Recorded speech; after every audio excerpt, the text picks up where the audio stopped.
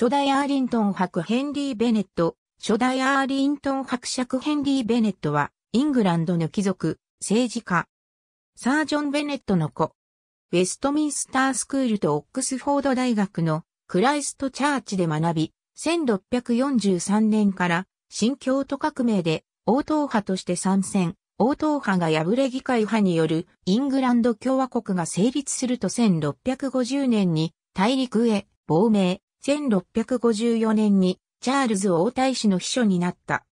1658年に中日大使としてスペインに赴任、スペインを応答派支援にさせるべく尽力したり、翌1659年にチャールズの命令でピレネー条約交渉の現場に赴き、スペインとフランスの後ろ盾を獲得しようとしたが、いずれも失敗している。しかし、同年に共和国が混乱のうちに崩壊して1660年に王政復古が成立すると、1661年にチャールズ2世から呼び戻され帰国、翌1662年に南部担当国務大臣に任命、1663年にアーリントン男爵に除爵された。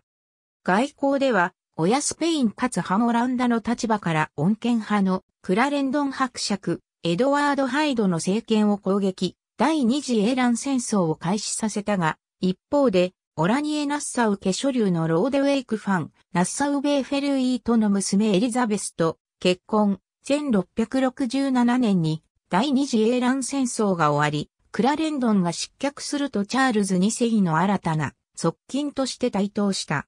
フランスがネーデルラント継承戦争を勃発させると、反フランスとしてウィリアム・テンプルと協力して三国同盟を成立させてフランスを牽制した。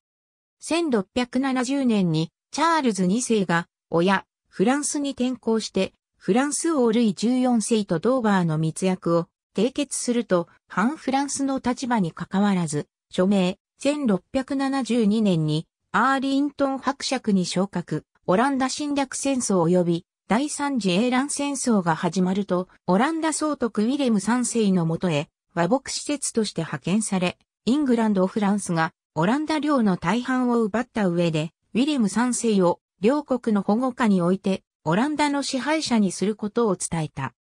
しかし交渉は決裂、1674年に戦争方針をめぐり、チャールズ2世と議会が対立すると、チャールズ2世の側近であることから、議会から弾劾、無効となったが国務大臣を辞任、宮内長官に転任したが政界への影響力を失い、1685年に死去。爵位と遺産は、一人娘で、チャールズ2世の諸子のグラフトン公ヘンリー・フィッツロイと、結婚していたイザベラ・ベネットが相続、ヘンリーとイザベラとの間に生まれた外孫チャールズと、その子孫に受け継がれていった。また、官僚のウィンストン・チャーチルは、アーリントンとの知己を利用して、子供たちを宮廷に出資させ、娘アラベラは、チャールズ2世の弟のヨーク公、ジェームズの愛人となり、息子ジョンは、ヨーク公に仕え軍人として出世、マールバラ公に除爵された。浜村、P66、P71、P73、友清、P39、P46、P81、P86、P120。浜村、P82、友清、P150、P152、P175、P176。友清、P247。ありがとうございます。